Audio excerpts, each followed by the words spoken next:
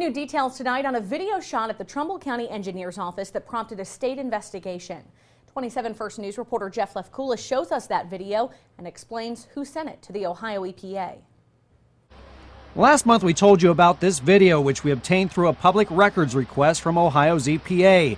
The person who sent the video to the state was this man, Barry Meadows. He's the owner of Digging Dirt. Meadows sent it twice, once in May and once in July, along with an email which reads that Trumbull County engineer employees were breaking the law by discharging catch basin debris from a vacuum truck into the storm sewer.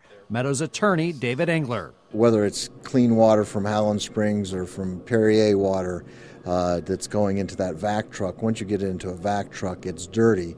So he just simply forwarded on to the EPA in case there was an issue. However, it was determined there was no environmental violation and the agency closed their investigation. Meadows has been outspoken about county business for years, taking on the Trumbull County Health Department over the right to install septic systems in the county.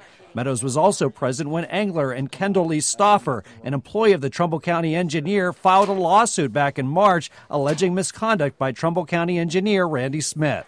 It's not an axe to grind, it's actually trying to get to the truth of the matter.